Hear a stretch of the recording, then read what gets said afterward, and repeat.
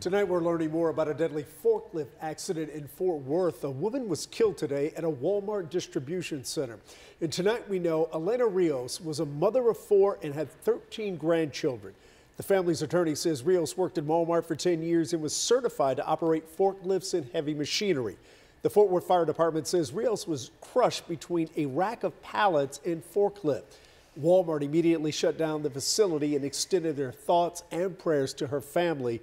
And tonight we know that OSHA has been called in to investigate what happened. Investigate